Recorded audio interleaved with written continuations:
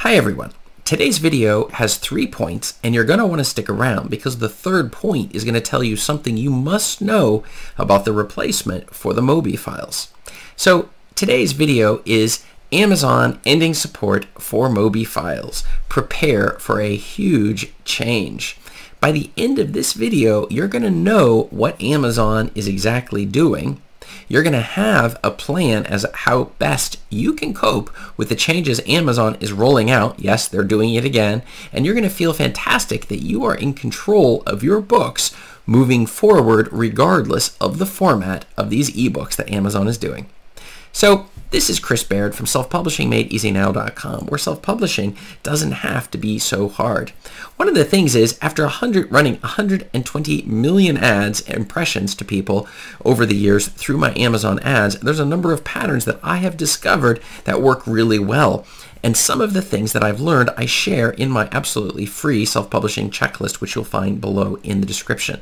Grab a copy of that and I can show you exactly the steps necessary for your books to get them selling through the use of ads as well.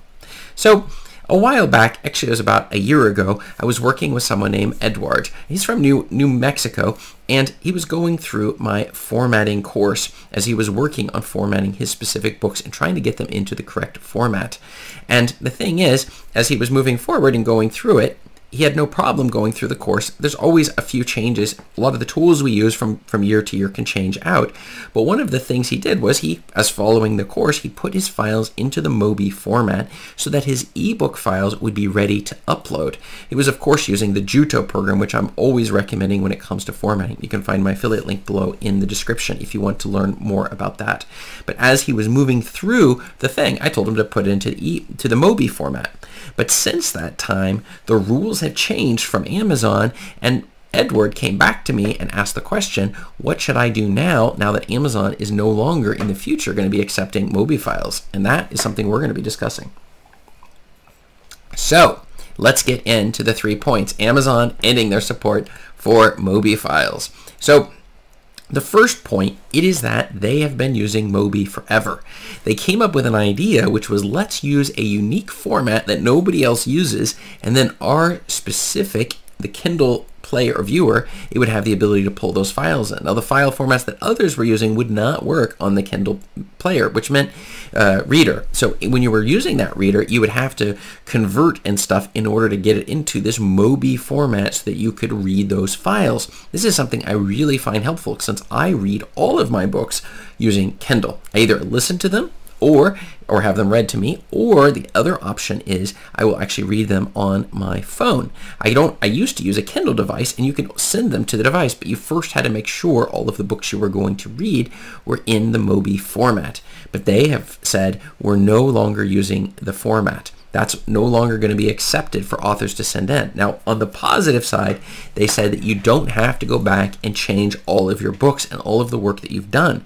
But if you're going to resubmit the format, you're going to have to do it yourself. And this is one of the reasons I tell everyone, you should learn how to do formatting yourself because we're always making changes to our books and we want to be able to make these changes and put it into a format that Amazon is absolutely going to accept without having a lot of problems or having to pay somebody else to do all of the formatting for us. Fortunately, we're also in a transition period where they're still accepting the Mobi files that you're producing for your books, but going forward, they are going to cut that off and no more Mobi books. The MOBI files will no longer be accepted by Amazon, and you're going to be forced, left out, trying to figure this out yourself. So that's the second thing.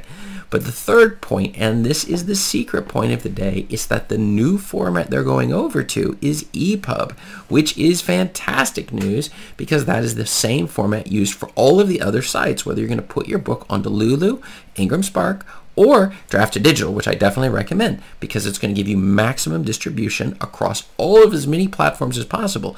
We want your book in as many formats as possible and spread across the internet, every bookstore you can imagine everywhere on earth. So it is so easy for your ideal readers to find your book and find it in a format they wish to read. Okay?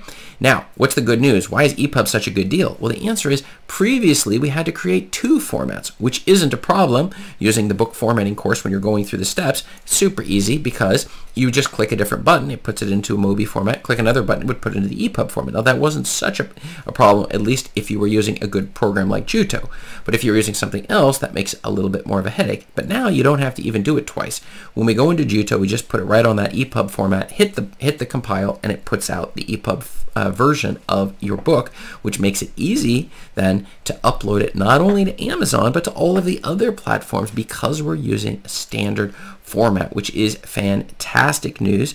In addition, Amazon recently announced that you could even now send EPUB files to your Kindle device without having to convert them first into a Mobi format in order to read them. So this is also fantastic news for all of you who are interested in that. You, as always, you always just let me know below if there's ever a question on how to go about taking these files out, out of a out of an e, a book you might have from Kindle, and then of course sending it to your specific devices. That is something that I find incredibly powerful. You can loan a book from the library and then send it to your device. You can just pull the file out, put it into EPUB or Mobi, whichever works best for you. I now prefer EPUB since that's the format they're using going forward. And there's there's lots of changes that are made with Amazon, and that's one of the big reasons you're going to want to learn more about blowing the lid off of Amazon's biggest secret right here. I'll see you over there.